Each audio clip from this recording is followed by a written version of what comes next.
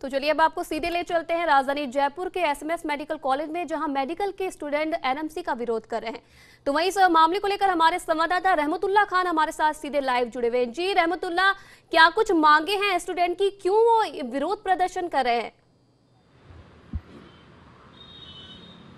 देखिए, लोकसभा में जो एनएमसी बिल लाया गया है, उसके विरोध में मेडिकल स्टूडेंट यहाँ पर मेडिकल कॉलेज पर विरोध कर रहे हैं। All India medical student association के बैनर तले यहाँ विरोध हो रहा है। डॉक्टर पंकज सिंह, जो राष्ट्रीय उपाध्यक्ष है, इस एसोसिएशन के, और डॉक्टर जितेंद्र सिंह, यहाँ हमारे साथ दोनों मुझे इनसे हम बात करेंगे। एनएमसी बिल का किस तरह से विरोध किया जा रहा है, सर? जब भी नई नीति आती हैं तो गवर्नमेंट हमेशा डॉक्टर्स के बारे में भूल जाती है। एक सरकार जो कि हमारे द्वारा चुन के यहाँ भेजी गई है, उसे समझना होगा कि ताकत आज जनता के हाथ में है। और अगर वो ऐसी ऐसी कोई भी government which has no one to rule is a powerless government. आज अगर जनता विरोध में आती है तो मैं समझता हूँ कि ये बहुत बड़ी शेम की बात है। एनएमसी बिल लेके आए, और एनएमसी बिल मैं समझता हूँ कुछ और नहीं, सामंतवादी को बढ़ावा देने की एक दूसरी नई रणनीति है। इससे पहले भी डॉक्टर्स हमेशा बिना किसी मेडिकल परीक्षा के पीजी में आया करते थे, लेकिन लगभग 40 साल से ये प्रथा धीरे धीरे बंद हो गई। गवर्नमेंट क्या चाहती है? ये हमारी समझ से बाहर है। क्या वो फिर से वही प्रथा वापस लाना चाहती है जिसमें कि अयोग्य चिकित्सक पीजी करना कर, करने को करेंगे? मैं समझता हूँ कि इस चीज़ का जितना भी बहिष्कार किया जाए कम है। अगर आज हमारी मांगे नहीं मानी गई तो हम लोग सड़कों पर उतरेंगे और चिकित्सा सेवाओं को पैरालाइज करेंगे। एनएमसी बिल से क्या नुकसान क्या होगा स्टूडेंट्स को? सबसे पहला नुकसान कि अयोग्य अयोग्य छात्र पीजी में आएँगे। क्योंकि एक ऑब्जेक्टिविटी जो कि नीट परीक्षा के थ्रू एस्टेब्लिश की गई है उस प्रोसीजर की। सरकार की एनएमसी बिल धज्जे उड़ा रहा है। नंबर टू, एनएमसी बिल ने आज कई तरह के नए प्रावधान दिए हैं। जैसे कि गवर्नमेंट को ये कई सारी असीमित शक्तियाँ दे दी हैं। एक जो डॉक्टर को भाग्य विदाता है, वो डॉक्टर ही होना चाहिए। एनएमसी के अंदर जो कमेटी बन रही है, उस कमेटी के अंदर सिर्फ़ दो या तीन डॉक्टर्स हैं, बाकी सारे के सारे ब्यूरोक्रेट्स, क्रेट्स, आईएएस हैं। मैं मानता हूँ कि ब्यूरोक्रेट्स और आईएएस बहुत इंटेलिजेंट हैं, लेकिन डॉक्टर्स का दर्द सिर्फ़ डॉक्टर ही समझ सकता है। तो उसके अंदर डॉक्टर्स को एक अच्छी भागीदारी मिलनी चाहिए तभी ये बिल सक्सेसफुल हो पाएगा। बिल्कुल ये एनएमसी बिल का पूरा विरोध हो रहा है और हमारे साथ डॉक्टर जितेंद्र जी इनसे हम बात करें। एनएमसी बिल के बारे में किस तरह से विरोध किया जा रहा है?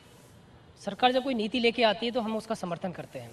भारत सरकार का काम है नीतियाँ लेके आना अच्छी नीतियों का हमेशा all over Indian medical association all all India medical institute association ने समर्थन किया और करता रहेगा। बट इसमें कुछ पॉइंट हैं जिनका हम विरोध कर रहे हैं। सरकार इंडायरेक्टली ब्रिज कोर्स लेके आ रही है। जो मेडिकल प्रोफेशन के विरोधी तो है ही। आम जनता के लिए भी बहुत घातक है।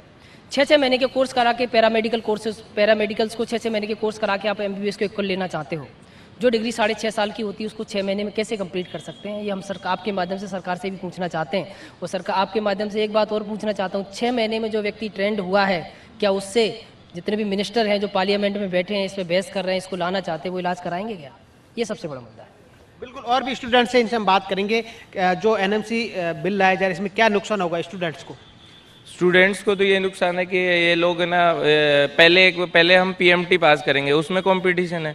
उसके बाद हम एग्जिट एग्ज़ाम देंगे, उसके अंदर फिर कंपटीशन है। हम कंपटीशन के लिए कोई मना नहीं करे कि कंपटीशन हम दोबारा भी पास कर सकते हैं, लेकिन जो ये एग्जिट एग्ज़ाम है, उसमें ये है कि भाई ये दोबारा, ये प्रैक्टिकल के भी होंगे सब्जेक्टिव टाइप का होगा।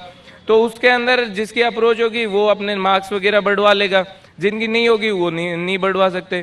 तो ये एक तरह से एक करप्शन करप्शन ही है। दूसरी चीज़ की ये लोग ब्रिज कोर्स लेके आ रहे हैं। तो अगर ब्रिज कोर्स छः महीने से अगर एमबीबीएस के बराबर कोई हो सकता है पैरामेडिकल करके तो फिर क्यों एमबीबीएस क्यों करनी? साढ़े पाँच साल की तो एमबीबीएस है, उसके बाद तो इससे अच्छा ना पैरामेडिकल कोर्स कर लो छः महीने का ये कर लो, उसके बाद एमबीबीएस के तो बराबर हो ही जाएँगे। अब स्टूडेंट्स के लिए तो ये गलत है। हालाँकि ये चीज़ ना पेशेंट्स के लिए पेशेंट जो लोग हैं उनके लिए भी गलत है कि भाई उनको कितनी अच्छे कितना अच्छा ट्रीटमेंट कर पाएँगे वो जो ब्रिज कोर्स से जो लोग आएँगे वो कितना अच्छा ट्रीटमेंट कर पाएँगे। ब्रिज कोर्स में कितने टाइम का कोर्स किया जाता है? सर ये इन्होंने प्रावधान रखा है कि छः महीने का कोर्स करके ये B M S B H M S जो भी और अदर डिग्रीज वाले हैं ये हमारे बराबर एमबीबीएस के बराबर हो जाएँगे। सर इससे हम हमें जितनी दिक्कत है वो तो ठीक है पेशेंट्स को कितनी दिक्कत होगी? अगर कल को कोई पेशेंट मर जाता है या फिर ट्रीटमेंट नहीं हो पाता उसका अच्छे से तो फिर इस ये हमारा डॉक्टरी का पेशा जो इतना बदनाम हो वैसे ही बदनाम है ऑलरेडी रेजिडेंट्स पर आए दिन अटैक हो रहे हैं। अगर ये ये चीज़ और हो गई तो फिर कितनी हमारी पूरी मेडिकल फ्रेटर्निटी खराब हो जाएगी इस, इस बिल से। इस सरकार को समझना चाहिए इसमें प्रावधान करना बहुत ज़रूरी है। जी का रहमतुल्लाह हम आपसे जानना चाहेंगे कि आप उनसे पूछे कि कि देश भर में इस है। जी रहमतुल्लाह हम आपसे जानेंगे आप उनसे पूछे कि इसका लगातार इस चीज़ का विरोध पूरे देश भर में किया जा रहा है। आज कई स्थानों पर कई राज्यों में आज जो डॉक्टर हैं वो कई हड़ताल पर भी बैठे हैं। तो आपसे जानना चाहेंगे कि आप जो स्टूडेंट्स हैं डॉक्टर से उनसे पूछे कि अगर सरकार आगे जाके उनकी इस मांग को नहीं मानती है तो आगे क्या कुछ इस पूरे मामले पर वो करेंगे? एनएमसी बिल का लगातार जो विरोध किया जा रहा है, पूरे देश में किया जा रहा है। अगर सरकार मांगे, नहीं मानती तो फिर आगे के क्या रुख होगा? और कहाँ कहाँ पे ये विरोध हो रहा है इसका? All India medical student association हमेशा ही शांतिपूर्ण ढंग से विरोध करने का समर्थन करती है। तो हम लोग भी उसी परिपाटी को निभाते हुए आज भले ही सड़कों पर उतरने के लिए मजबूर हैं, लेकिन हम कोई भी हिंसात्मक कार्रवाई नहीं करेंगे। सबसे पहले हम लोगों ने एक शांतिपूर्ण धरना प्रदर्शन यहाँ पर स्टार्ट किया, जो कि लगभग पिछले ढाई तीन वीक से जारी है। अगर सरकार ने हमारी मांगे नहीं मानी तो बहुत जल्दी हम काली पट्टियाँ लगाकर बहिष्कार करेंगे, जो कि आज से स्टार्ट हो गया है। इसके अलावा चिकित्सा सेवाओं का बहिष्कार और मेडिकल फैसिलिटीज़ को पैरालाइज करना भी डॉक्टर्स कर सकते हैं, अगर गवर्नमेंट हमारी मांग नहीं मानती है तो।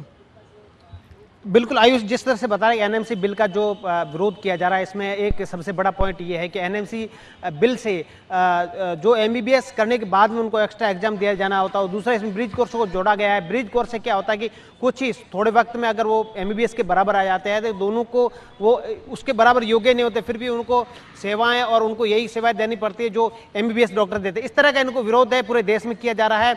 All India medical student association इनके बैनर तरह किया जा रहा है। अब आगे इनका यही कहना है, अगर सरकार ये इस मांगे नहीं मानती है, अगर इनका ये उसको बिल को ड्रॉप नहीं करती है तो जो है उग्र आंदोलन किया जाएगा। जी आयुषी जी, रहमतुल्लाह, जैसा डॉक्टर पंकज ने बताया कि लगातार वो दो तीन महीनों से लगातार इस बिल का विरोध कर रहे हैं, लगातार दो तीन हफ्तों से इसका विरोध कर रहे हैं तो आपसे जानना चाहेंगे कि क्या जो भी प्रशासन है, क्या अभी तक उनकी नज़र इस पर नहीं पड़ी है? लगातार जैसे मेडिकल के ये स्टूडेंट लगातार विरोध करें तो अभी तक क्या जो अधिकारी उन्होंने इनकी एक भी नहीं सुनी, उन्हें इस बात का कोई सुध नहीं है? बिल्कुल यही पूछना चाहेंगे डॉक्टर पंकज सिंह जी अभी तक क्या प्रशासनिक का तंत्र सा किसी की कोई जवाब नहीं आया इस पर? कोई भी ठोस कार्रवाई तो दूर की बात है। अभी किसी भी सरकारी अधिकारी ने या किसी भी राजनेता ने पहल भी नहीं की कि डॉक्टर्स की बात सुने। तो ये एक बहुत दुर्भाग्यपूर्ण स्थिति है जो कि एक प्रजातंत्र में इस तरह का काम नहीं होना चाहिए। जब कोई भी एक पढ़ा लिखा समाज सड़कों पर उतरने पर मजबूर होता है तो उसमें कहीं ना कहीं खामियाँ सरकार की या अधिकारियों की होती हैं। तो मेरा निवेदन है सरकार से और उच्च अधिकारियों से कि वे डॉक्टर्स को, को निमंत्रण दें खुद पहल करें खुद कदम बढ़ाएँ आगे इनकी समस्या को सुन, सुनने के लिए और उनको सॉल्व करने के लिए। विरोध से पहले आपने कभी किन अधिकारियों से आपने इस बारे में बातचीत की? इस मैटर में कई बार हमारी हेल्थ मिनिस्ट्री में बात हो चुकी है। उस समय जेपी नड्डा जी थे, जो 2017 में आया था उसमें health minister JP Nadda ji थे। हमें आश्वासन दिया गया था कि आपके, आप जिसका, जिस पॉइंटों का विरोध कर रहे हैं। हम एनएमसी बिल के साथ ठीक है आप एनएमसी बिल लेके आओ आपका स्वागत है अच्छी पॉलिसियों का हम स्वागत करते हैं मगर इसमें जो मेडिकल विरोधी कुछ पॉइंट्स हैं जी। उसमें आपसे जा, आपसे था, चाहेंगे कि आप डॉक्टर से पूछिए कि अगर जैसे हमने देखा। कि एनएमसी बिल 32 के तहत ये है कि अगर कोई भी जो नॉन मेडिकल शख्स है उसको लाइसेंस देकर वो बिना किसी चीज़ के उसको बिना किसी जानकारी के वो किसी भी चीज़ की दवाई लिख सकता है तो कहाँ तक ये सही रहेगा आप डॉक्टर से ये जानिए बिल्कुल, यही सवाल इनसे करेंगे। उनसे पहले जो बता रहे जेपी नड्डा जी से जब आपकी बात हुई थी उसमें बात हुई थी, उनसे बोला गया था कि आप जिस पॉइंटों का विरोध कर रहे हो, हम तो पूरे एनएमसी बिल का कर रहे हैं, फिर भी हम लोगों ने कहा कि ठीक है, आप एनएमसी बिल लेके आइए, आप सरकार है, आप बिल लेके आ सकते हो, हम उसको आपका स्वागत करते हैं। बट इसमें जो कुछ पॉइंट थे मेडिकल विरोधी तो उनको हम हटा दिए जाएँगे। हमारे आश्वासन के बाद भी, उन्होंने आश्वासन देने के बाद भी इस तरह की हमारे साथ किया है, ये तरह का, ये दुर्भाग्यपूर्ण है, सरकार ने हमारे साथ छल और कपट दोनों कर दिए तो इसका हम विरोध कर रहे हैं। बिल्कुल डॉक्टर साहब, आपसे सवाल है कि ये एनएमसी बिल, ये जब डॉक्टर उनको बराबर दर्जा दिया गया है, वो मेडिसिन लिखेंगे और दूसरे डॉक्टर लिखेंगे, उसमें कितना जो फ़र्क रहता है और कितना कहीं नुकसानदायक रह सकती है? एक बहुत ही सामान्य साधारण आईक्यू वाला आदमी भी ये समझ सकता है कि साढ़े पाँच छः साल के अंदर कठोर परिश्रम के बाद एक जो मेडिकल डॉक्टर एमबीबीएस करके आता है, उसकी योग्यता में और छः महीने के ब्रिज कोर्स करने वाले व्यक्ति की योग्यता में कितना अंतर होगा?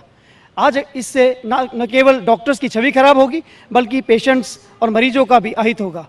इसके चलते हुए अगर अयोग्य लोग डॉक्टर बन के एम बन, बनकर क्लेम करते हैं कि वो एमबीबीएस की तरह ट्रीटमेंट कर सकेंगे तो मैं समझता हूँ कि बहुत ही दुर्भाग्यपूर्ण और बहुत ही एक छोटा समझ वाला डिसीज़न है। आपका क्या अनुभव, क्या बताएँगे? कि जो दवाई लिखने का जो तरीका होता है पेशेंट पर कितना प्रभाव पड़ेगा? देखो मेन बात यही है कि अगर उन उन्होंने सही सही ट्रीटमेंट नहीं लिखा तो जो ये अभी अभी तक जो भी दवाइयाँ चल रही हैं उनका रेजिस्टेंस आ जाएगा। अभी जैसे टीबी की बात करें अपन पर्टिकुलरली तो उसमें भी बहुत सारी दवाइयाँ अभी काम करना बंद कर दिया क्योंकि वो भी वो भी वो लोग जो सही ट्रीटमेंट नहीं ले रहे या सही ट्रीटमेंट नहीं दे पा रहे इस कारण से वो हुआ है। तो अगर वो लोग छह महीने का कोर्स करके आएँगे तो इन चीज़ों में और बढ़ावा मिलेगा। जी, आयुषी। फ़िलहाल इस तमाम जानकारी के लिए आपका बहुत बहुत शुक्रिया। तो आपको बता दें कि एनएमसी बिल को पास करने के लिए लगातार जो पूरे देश भर में जो डॉक्टर है, लगातार इस बिल को पास कराने को लेकर विरोध कर रहे हैं। अब देखने वाली बात ये होगी कि सरकार कब तक इस ओर ध्यान दे पाएगी।